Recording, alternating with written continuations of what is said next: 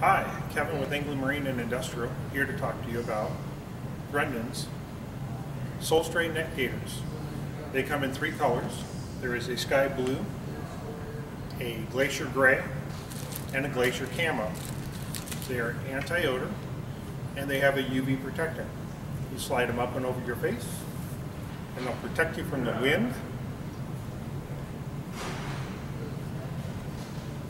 You can slide them over the top of your head.